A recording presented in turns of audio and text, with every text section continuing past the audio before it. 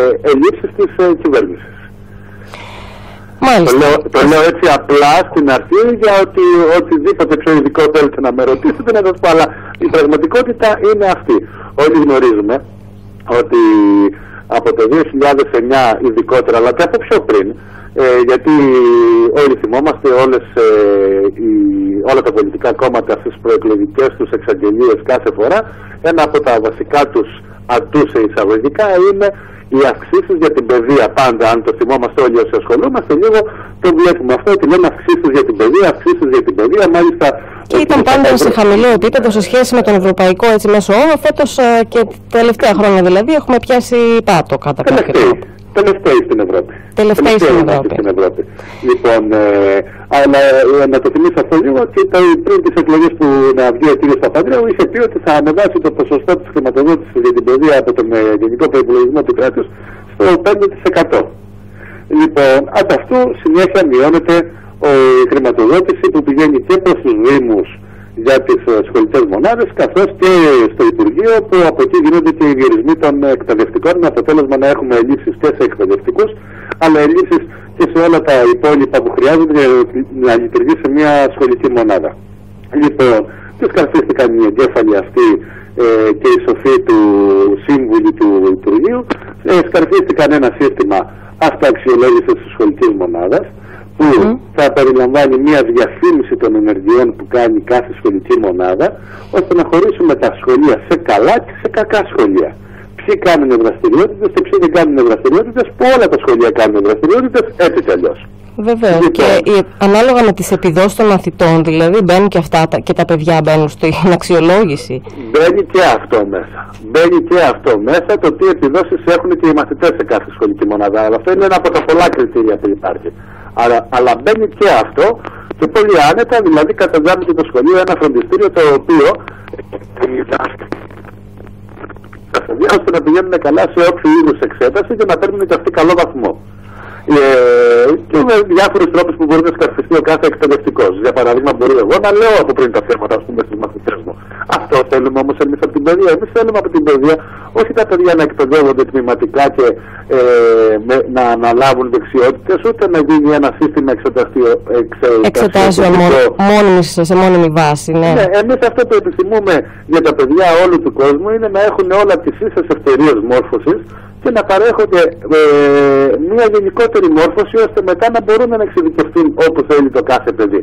Δεν είναι τυχαίο, κυρία Ξανδάκη, ότι ε, έχουν εξαγγείλει οι κυβερνήσεις ότι οι νέοι εργαζόμενοι πρέπει να, να συνειδητοποιήσουν ότι μέχρι να βγουν στη σύνταξη θα πρέπει να είναι προετοιμασμένοι θα αλλάξουν 5 και 6 και 7 δουλειές. Όπως και επίσης τα παιδιά, υπάρχει και η καμπάνια που τρέχει να μην έτσι επιδιώκουν α, θεωρητική εκπαίδευση. Κάπου εκεί πάει να μας τρέψει μια διαφήμιση που κυκλοφορεί. Αλλά αν πιάνει τα χέρια σου, γιατί να κάτσεις να ασχολείσαι με το Λύκειο, μπορείς να μπει σε μια διαδικασία ε, μαθητείας και μ, κατευθείαν στην παραγωγή. Ε, πο- Αυτό που γίνεται με τη μαθητεία είναι εντελώς ντροπιαστικό και εξασθενιστικό, ε, διότι και ε, όλα αυτά είναι υπέρ των εργοδοτών, γιατί τους παρέχουν ευθυνό εργατικό δυναμικό με πολύ, χαμηλή, ε, με πολύ χαμηλό κόστος και το οποίο ουσιαστικά ε, μεγαλώνει και την ανεργία των εργαζόμενων. Έτσι. Γιατί θα υπάρχει το φθηνό εργατικό δυναμικό υπό μορφή μαθητείας. Ναι, και τώρα όλη αυτή η αξιολόγηση, βέβαια, δεν ξέρω με ποιους κανόνε γίνεται και από ποιου στην ουσία αξιολογούνται οι αξιολογητές πρώτα-πρώτα και με ποιους σκοπούς. Δηλαδή, έχουμε μπροστά μας κάποιες απολύσεις, για παράδειγμα, και ξεκινάει αυτή η συζήτηση. Από την άλλη έχουμε μ, έτσι ένα σύστημα όπως το περιγράψατε που υποχρηματοδοτεί την παιδεία. Έχουμε μ, παιδιά να στηβάζονται σε τάξεις και κατά πόσο αυτά τα παιδιά θα μπορέσουν να παράξουν ένα αποτέλεσμα προς αξιολόγηση Κυρία του Ξανθάκη, εκπαιδευτικού ας πούμε για- ή και για- των ίδιων των παιδιών για και να τους σας πω σχολείου τους. ορισμένα πράγματα πάρα πολύ απλά. Ε, αξιολόγηση στις ευρωπαϊκές χώρες τι σημαίνει; Σημαίνει το εξής απλό, για να καταλαβαίνει όλος ο κόσμος. Βρίσκουμε τις ελλείψεις που έχει ε, που έχουν σχολεία Μμμ. Μάλιστα. Σας ακούμε. Δεν τον ακούμε τον κύριο Τσίτσο, θα επανέλθουμε στην συνομιλία μας σε λιγάκι.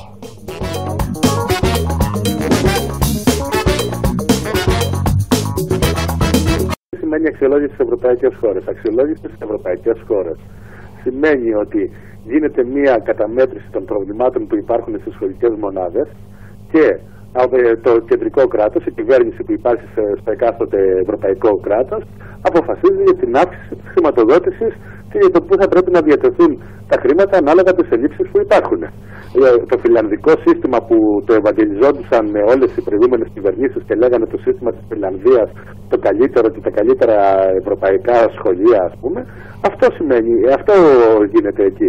Ε, αξιολογούν, βλέπουν τι ελλείψεις υπάρχουν, αποφασίζει το κράτος, η κυβέρνηση της Φιλανδίας και δίνει περισσότερα χρήματα.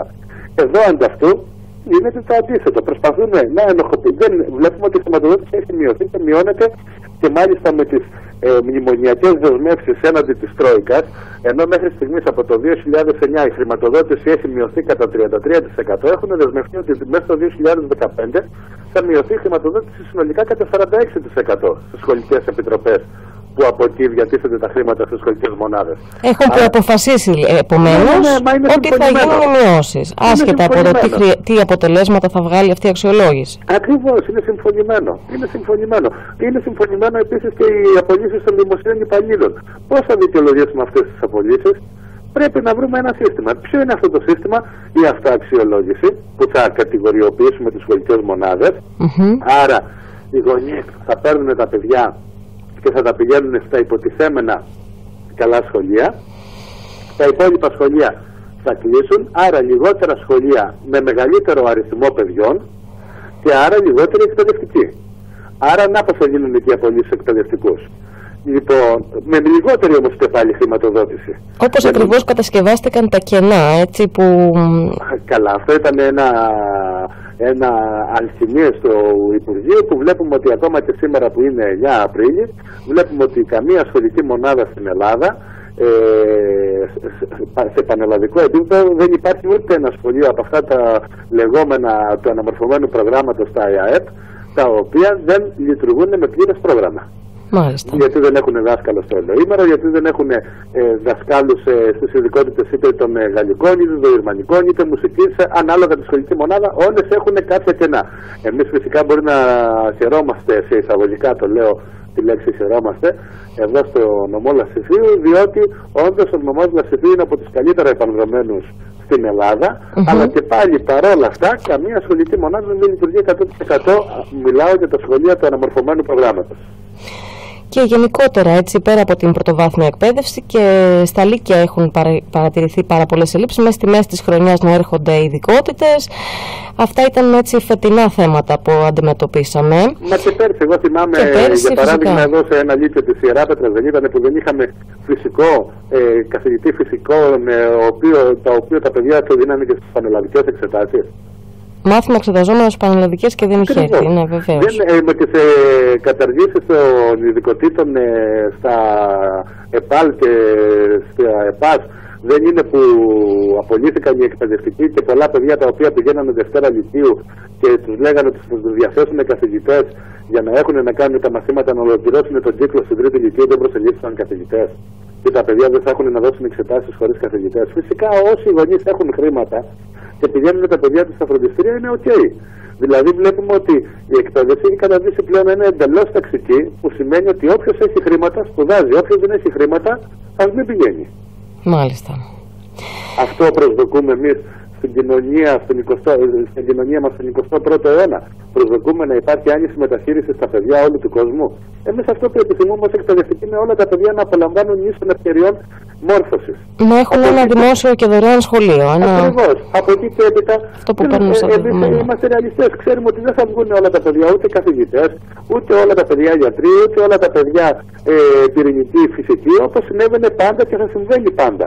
Αλλά ακόμα και ο αγρότης, ακόμα και και ο εργαζόμενος στην οικοδομή, ένας, ένας κλάδος που έχει σβηστεί εντελώς από το χάρτη εργασίας στην Ελλάδα, η οικοδομή, που κάποτε θεωρείται και η ανάπτυξη του τόπου. Λοιπόν, ε, όλοι αυτοί, που, γιατί και όλα τα επαγγέλματα είναι σημαντικά, γιατί το κάθε ένα προσφέρει, έχει τη σημαντικότητά του Φυσικά, στην, στην κοινωνία. Ναι, λοιπόν, ο, ε, πρέπει να έχει ανθρώπους οι οποίοι να είναι μορφωμένοι και μπορούν να, να αντιλαμβάνονται. Να έχουν παιδεία. Να έχουν Έτσι. παιδεία, ναι, και να, να μπορούν να πούν ότι αντιλαμβάνονται τον κόσμο και ότι μπορούν να αντιδράσουν μέσα σε αυτή την κοινωνία. Ακριβώς, τώρα σου λέει με την αυτοαξιολόγηση. Υπάρχουν δηλαδή διάφορα κριτήρια για να καταλαβαίνει ο κόσμος, τα οποία θα λέει, ας πούμε, ε, λέει ένα κριτήριο, το λέει έτσι επιλέξεις. Ναι, πείτε Πόσο μας. συμμετέχουν οι γονείς στην, ε, στην ε, σχολική μονάδα, δηλαδή τι χρήματα δίνουν οι γονείς; Σε χρήματα, γι' αυτό τους ενδιαφέρει; Ορίστε. Πόσα χρήματα προσφέρουν οι γονείς στη Ναι, μονάδα; ναι, ναι, ναι, ποια είναι η συμμετοχή τους στη σχολική μονάδα, τι προσφέρουν οι γονείς στη σχολική μονάδα; Επομένως, ο εκπαιδευτικός, αν δεν καταφέρει να προσελκύσει ας πούμε, τα χρήματα των γονιών για να μπουν στη σχολική μονάδα, κατά κάποιο τρόπο μπαίνει έτσι σε μια αρνητική βαθμολογία. Ε, το, η σχολική μονάδα. Τι κατηγοριοποιείται. Η σχολική μονάδα, ναι, ίδια, τι βέβαια. κατηγοριοποιείται στις κάποιες σχολικές μονάδες. Θα μου πείτε στα αστικά κέντρα, ε, ειδικά στις πρωτεύουσες των επαρχιακών νομών, ας πούμε, όχι στην Αθήνα, Θεσσαλονίκη, Πάτρα, Ηράκλειο, μεγάλε πόλει, που εκεί στις μεγάλες πόλεις υπάρχουν και οι πλούσιες περιοχές και οι φτωχές περιοχές. Είναι οι συνοικίες των πλουσίων, οι συνοικίες των φτωχών, ε, να λέμε την αλήθεια, έτσι. Λοιπόν, και εδώ, στην, ε, ε, εδώ λοιπόν, ας πούμε, στον νομό Λαξιθίου, την ίδια αντιμετώπιση θα έχει ένα σχολείο σε ένα χωριό με το σχολείο της πόλης που ο κόσμος ο κόσμος της πόλης έχει, ας πούμε, μια πιο μεγάλη οικονομική άνεση στο να προσφέρει στο σχολείο.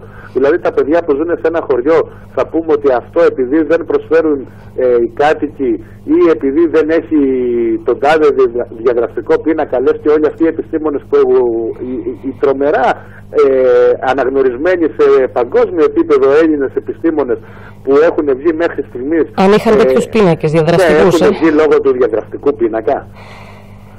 Μάλιστα. Μένουμε δηλαδή στα, στις εντυπώσεις και στο, στην ουσία την αποφεύγουμε κατά κάποιο τρόπο και πάνω κάτω και την υποχρέωση του κράτους απέναντι στα σχολεία. Η πραγματικότητα, κυρία Ξανθάκη, είναι η εξής, για να μην πολυλογούμε. Η ουσία ποια είναι, το κράτος χρηματοδοτεί, ναι ή όχι. Όχι, λέμε εμείς. Και αυτό είναι αποδεκτό από όλους. Αν πάρετε να ρωτήσετε οποιονδήποτε που ασχολείται με την εκπαίδευση και, οποιο, και οποιονδήποτε στο Δήμο που είναι σε σχολικές επιτροπές, θα σας πούνε οι ίδιοι το πόσο έχει μειωθεί η χρηματοδότηση. Τα νούμερα Άρα- μιλάνε από μόνα τους, ναι. ναι, άρα είναι γενικά αποδεκτό ότι δεν χρηματοδοτείται η εκπαίδευση. Έχουμε διορισμούς. Όχι. Τα τελευταία δύο χρόνια δεν έχουμε κανέναν σχεδόν διορισμό. Έτσι. Μι- Μιλάμε τώρα για 17 ή για 20 άτομα που διορίζονται. Λοιπόν, διορίζονται αντιθέτως αρκετοί αναπληρωτές Μμμ. μέσω ΕΣΠΑ, μέσω ευρωπαϊκών προγραμμάτων. Δηλαδή, ποιον των χρημάτων που εμείς δίνουμε στην Ευρώπη ως ελληνικό κράτος, μας τα δίνει και καλά δίθεν η Ευρώπη ως ε, χάρη, αλλά τα οποία εμείς είμαστε υποχρεωμένοι να κάνουμε πράγματα αυτά που λένε οι Ευρωπαίοι. Έτσι. Μάλιστα. Λοιπόν, τι βλέπουμε λοιπόν; Δεν γίνονται διορισμοί. Δεν γίνεται χρηματοδότηση στις σχολικές μονάδες. Άρα η αυτοαξιολόγηση της σχολικής μονάδας που οδηγεί, οδηγεί αποκλειστικά στην κατηγοριοποίηση των σχολείων και θα έχουμε καλά σχολεία, μη καλά σχολεία. Μμμ. Από εκεί και έπειτα. Τα μη καλά σχολεία, επειδή θα δίνει, ε, θα μπορεί ο κάθε γονέας να, μπο- να γράψει το παιδί του σε όποια σχολική μονάδα θέλει, θα μειώνονται οι θέσεις σε ένα χρόνο, σε δύο χρόνια, σε τρία χρόνια. Μέχρι Θα κλείσουν τα κλεισίματος, σχολεία αυτά. Ναι, λέτε. θα κλείσουν τα σχολεία αυτά. Στην αρχή θα υποβαθμίζονται οι θέσεις. Από εκεί που ήταν οχταθέσιο θα γίνει εξαθέσιο, μετά θα γίνει τετραθέσιο, στο τέλος θα κλείσει. Μόλις θα κλείσει, πού θα πάνε τα παιδιά του κόσμου, θα στηβαχτούν στην άλλη σχολική μονάδα που είναι εκεί και εκεί που έχουμε τα παιδιά μέσα σε τάξεις 23, 24, 25 τμήματων θα γίνουν 30 τα παιδιά. Άντε τώρα να μορφώσεις παιδιά με ε, 30 τον αριθμό μέσα στην τάξη. Μόνο με το που θα μπαίνεις μέσα και θα προσπαθείς να, Να βρεις- ακουστείς. ναι, ναι, δεν θα μπορείς. Δεν ξέρετε ποια είναι η διαφορά, γιατί το, εδώ στην Ιερά Πέτρα έχουμε και το, και το χούι να στέλνουμε όλοι τα παιδιά μας στα φροντιστήρια. Και καλά κάνουμε, ε, καλά κάνουμε το λέω από την άποψη στο, στο ενδιαφέρον του κάθε, της κάθε οικογένειας ώστε να μπορέσει το παιδί να του δώσει το καλύτερο στο μορφωθεί. παιδί, αλλά Έτσι, σ- αλλήμον. στην πραγματικότητα τώρα πάρα πολύ δυσκολεύονται Ναι. Ποια για είναι να η προσφέρουν διαφορά; αυτό Ποια- τη βοήθεια στα παιδιά τους. Κυρία Σαντάκη, ποια είναι η διαφορά των φροντιστηρίων με το δημόσιο σχολείο, ξέρετε; Ο αριθμός των παιδιών. Η κρίσιμη διαφορά, βεβαίως. Εκεί είναι η διαφορά. Και έτσι διαφημίζονται και τα τμήματα ναι. όσο λιγομελή. Ακριβώς. Αν δείτε όλες τις διαφημίσεις των ιδιωτικών φροντιστηρίων ανά την Ελλάδα, σε, σε, σε όλα τα μέρη της Ελλάδας, τι λένε ολιγομελή τμήματα με κεφαλαία γράμματα. Εμείς τι να λέμε, περάστε κόσμε, εδώ είμαστε. Τα πολυμελή. Έτσι, ναι. Ε, εκεί λογικό είναι και μάλιστα και όταν τα παιδιά πηγαίνουν όλα στο φροντιστήριο, και το λέω ας πούμε περισσότερο για τη δευτεροβάθμια εκπαίδευση την οποία την έχουν απαξιώσει εντελώς, ε, ειδικά στο Λύκειο, όταν τα παιδιά πηγαίνουν στο φροντιστήριο και υπάρχει μια τρομερή εντατικοποίηση στο πρόγραμμα των παιδιών, χωρίς να τους αφήνουμε ελάχιστο χρόνο να παίξουν, να κινηθούν, να, να σκεφτούν, να ηρεμήσουν, ε, ο χρόνος που, αυτός που είναι, ε, ε, ε, που είναι χρήσιμος για αυτά για να ηρεμήσουν, ξέρετε τι γίνεται, γίνεται το πρωί στο σχολείο που θα δίνουν τους φίλους τους. Γιατί πρέπει να μελετούν το απόγευμα για το φροντιστήριο. Και πόσο, διάβαζα ας πούμε ε, πόσα δις δίνουν οι ελληνικές οικογένειες για τα φροντιστήρια, πάνω από 5,5 δις. Λοιπόν, πληρώνουν γιατί να μην τα διαθέσει αυτά τα χρήματα το κράτος σε χτίσιμο περισσότερων σχολείων με μικρότερα τμήματα να απορροφήσει όλους τους εκπαιδευτικούς ακόμα και αυτούς που έχουν ιδιωτικά φροντιστήρια θα χρειαστεί να δουλέψουν στο δημόσιο σχολείο αλλά φυσικά ε, σκεφτείτε το. Επιλέγουν οι άνθρωποι να μένουν στα ιδιωτικά φροντιστήρια γιατί έχουν και καλύτερες απολαυέ και καλύτερες συνθήκες εργασίας από ό,τι στο δημόσιο σχολείο. Ε, τώρα και αυτό κατά κάποιο τρόπο αλλάζει. Ελευθερώνονται απολύσεις ε, και στον ιδιωτικό τομέα στα φροντιστήρια και μπαίνουν, ε, βγαίνουν από την κατηγορία του εκπαιδευτικού, από ό,τι διαβάσαμε τουλάχιστον, και γίνονται έτσι ε, μία ομάδα μαζί με όλους τους ιδιωτικούς υπαλλήλους, είτε είναι γραμματέας ο άλλος είτε είναι εκπαιδευτικός, λογιάζεται το ίδιο σαν ωράριο και σαν εργαζόμενος. Αυτά να τα βλέπουμε και να παίρνουμε χαμπάρι, έτσι απλά λαϊκά το λέω, το τι κρύβεται από πίσω από όλες αυτές τις βαρύγδουτες λέξεις αξιολόγηση και να είναι η καλύτερη. Μα συγγνώμη, πριν μερικά χρόνια η ελληνική κυβέρνηση δεν έφτιαξε τον ΑΣΕΠ για να διορίζονται στο δημόσιο οι καλύτεροι. Γι' αυτό δεν το έφτιαξε τον ΑΣΕΠ για να διορίζονται στο δημόσιο οι καλύτεροι. Τότε δεν υπήρχαν πάλι διαμαρτυρίες από, ειδικά από τους εκπαιδευτικούς, ε, εγώ μιλάω για τον κλάδο μου, ειδικά από τους εκπαιδευτικούς, υπήρχαν τεράστιες διαμαρτυρίες για τον ΑΣΕΠ. Λοιπόν, έγινε ο ΑΣΕΠ, εγκαταστάθηκε ο ΑΣΕΠ, ε, θεσμοθετήθηκε και πλέον όσοι διορίζονται, που τώρα δεν διορίζονται, όσοι διοριζόντουσαν, λοιπόν να πούμε, διοριζόντουσαν μέσω του ΑΣΕΠ. Ε, δεν είναι οι καλύτεροι αυτοί. Μα και πριν τον ΑΣΕΠ. Αυτοί που. Διορίστηκαν με τη βαθμολογία τους, ναι, λέτε, ή με, το, με τα χρόνια. Ναι, αυτοί που είχαν μπει από την επιτηρίδα. Δεν είναι άνθρωποι οι οποίοι είχαν δώσει εξετάσεις, άρα είχαν πάλι αξιολογηθεί, είχαν μπει σε παιδαγωγικά τμήματα, άρα είχαν πάλι αξιολογηθεί μέσω των εξετάσεών τους στο πανεπιστήμιο και μετά ε, βγήκαν έτοιμοι και καταρτισμένοι για να διοριστούν στο δημόσιο σχολείο. Και τι τους προσφέρει το δημόσιο σχολείο, τους έκοψε την επιμόρφωση. Διότι εμείς οι εκπαιδευτικοί θεωρούμε ότι επειδή η εκπαίδευση είναι μια ε, δυναμική ε, διαδικασία. όχι στατική δηλαδή ότι μάθαμε σήμερα τελείωσε, ότι έμαθα εγώ το 1980 θα το εφαρμόζω το 2014. Είναι μια δυναμική διαδικασία την οποία εμείς οι ίδιοι εκπαιδευτικοί επιζητούμε διαρκώς την επιμόρφωση. Ε, αντα, για το καλό και το δικό μας και των παιδιών. Και των παιδιών κυρίως. Ακριβώς. Ανταυτού το κράτος τα τελευταία δύο χρόνια έχει κόψει κάθε είδους επιμόρφωση, έχει, δώσει, έχει κόψει κάθε είδους εκπαιδευτική άδεια και μάλιστα οι μοναδικές εκπαιδευτικέ άδειες που δινόντουσαν τα τελευταία δύο χρόνια ήταν μέσω του ΙΚΙ, του Ιδρύματος Κρατικών Υποτροφιών. Mm -hmm. Τους τελευταίους τρεις μήνες λοιπόν έχουν κοπεί και αυτές οι άδειες. Δηλαδή, εάν πάρεις εάν σου δώσει το Ίδρυμα Κρατικών Υποτροφιών υποτροφία για να μπεις σε ένα πανεπιστήμιο για να κάνεις ένα μεταπτυχιακό, ε, το, το Υπουργείο σου λέει θέλεις να πας θα πάρεις άδεια άνευ αποδοχών. Άνευ αποδοχών. Δηλαδή, δηλαδή θα ζήσεις με, με κάποια προσφέρει, ναι, φανταστικά ναι, χρήματα. Ναι, σου προσφέρει απλώς την άδεια άνευ αποδοχών να φύγεις για ένα, για δύο χρόνια, ε, τρία χρόνια, μέχρι τρία χρόνια σου δίνει το δικαίωμα να πας να επιμορφωθείς, αλλά δεν σου λέει πώς θα ζήσεις στην οικογένειά σου μέχρι τότε. Επομένως, είναι απογορευτική η επιμόρφωση και αυτού του είδους. Αυτά, τα λέω, αυτά τα λέω για να καταλαβαίνει ο κόσμος όλοι. Ολόκληρος ο κόσμος ότι η εκπαιδευτική, όπως πιστεύω και κάθε εργαζόμενος στον τομέα του, προσπαθεί να προσφέρει οτιδήποτε καλύτερο γίνεται. Όταν όμως αυτοί που οφείλουν να προσφέρουν αυτά που πρέπει γιατί γι' αυτό έχουν εκλεγεί και καταλαμβάνουν θέσεις κυβερνητικές σου κόβουν τα πόδια, σου κόβουν τα χέρια, σε κομματιάζουν και δεν μπορούν και, και σου αφαιρούν οποιοδήποτε δικαίωμα να προσπαθήσεις για τη δουλειά σου, λένε τι θα κάνουμε, ας κοτσάρουμε την αυτοαξιολόγηση της σχολική μονάδας και την αξιολόγηση του εκπαιδευτικού, να στοχοποιήσουμε όπως ε, γίνεται πάντα τον κάθε εργαζόμενο, και τα σχολεία. Και τα σχολεία για να βρούμε τα εύκολα θύματα, να τη γλιτώσουμε εμείς, γιατί ο κόσμος έτσι κι αλλιώς τον έχουμε εκπαιδεύσει από το 1996, εποχή Σιμίτη, όταν ξεκινήσανε οι αποκλεισμοί των δρόμων με τους αγρότες, τότε που πηγαίνανε τα μάτια και ρίχνανε ζάχαρη μέσα στα, στα, ντεπόζιτα. στα ντεπόζιτα των τραχτέρ. Από τότε έχει εκπαιδευτεί κυρία Ξανθάκη η ελληνική κοινωνία έχει εκπαιδευτεί στο να κατηγορεί η μία κοινωνική ομάδα την άλλη Στον κοινωνικό αυτοματισμό, ναι. Ακριβώς. Από τότε έχει ξεκινήσει. Αυτό είναι λοιπόν το μέγα λάθος το δικό μας, το ότι βρίσκουμε το πιο εύκολο, ε, την πιο εύκολη λύση για εμά. Τι να κατηγορήσουμε τον διπλανό μας. Μα ο διπλανός μας είναι πάντα αυτός που μας συμπαραστέκεται. Είναι αυτός που έχει τα ίδια προβλήματα με εμά και είναι και αυτός που προσπαθεί για το καλύτερο. Α ψάξουμε να βρούμε τους ενόχους εκεί που πρέπει. Η Ένωση λοιπόν είναι στην κεντρική πολιτική στιγμή, στην κυβέρνηση, οι οποίοι με τις αποφάσεις που παίρνουν αντί να προσφέρουν, παίρνουν. Μόνο μειώνουν, κόβουν ε, και προσπαθούν να, να εξασφαλίσουν τα πάντα. Θα σα πω ένα χαρακτηριστικό παράδειγμα με τις αξιολογίες. Πετε και να κλείσουμε με αυτό, γιατί και ο χρόνος μας είναι. Το οποίο δεν αφορά την παιδεία, αλλά για να δείτε τα χαρακτηριστικά, επειδή το ζούμε εμείς τραγικά εδώ πέρα με το νοσοκομείο μας.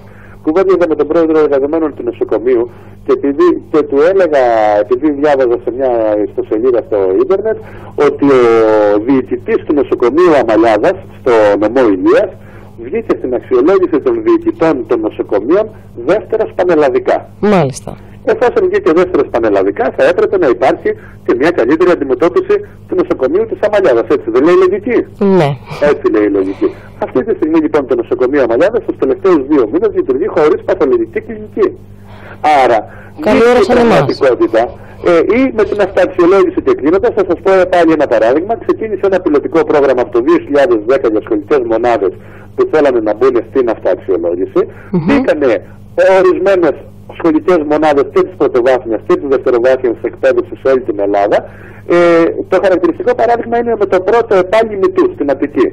Αυτό λοιπόν μπήκανε εθελοντικά οι άνθρωποι, λάθος τους για μένα, αλλά μπήκανε στην αυτοαξιολόγηση. Το αποτέλεσμα ποιο ήταν, με τις περσινές αποφάσεις της κυβέρνησης, με τις καταργήσεις των ειδικοτήτων στα ΕΠΑΛ, ε, απολύθηκαν έξι εκπαιδευτικοί από το πρώτο επάλι μητού, εκ των οποίων οι τρεις είχαν δηλώσει ότι είχαν μπει μέσα σε ομάδες εργασίας.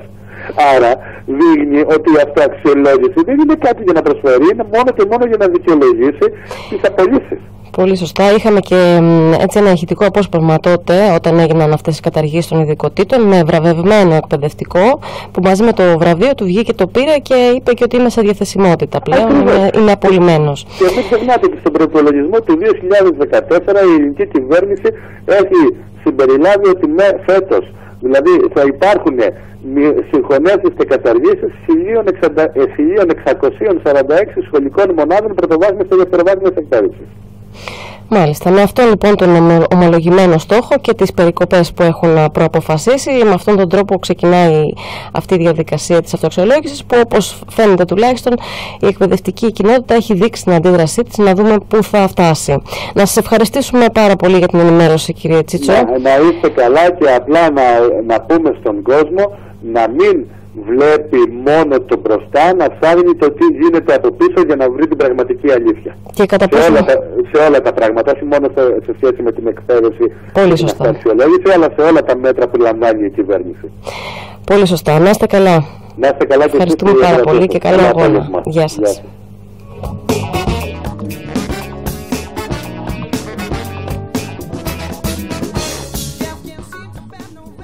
Ήχο 99,8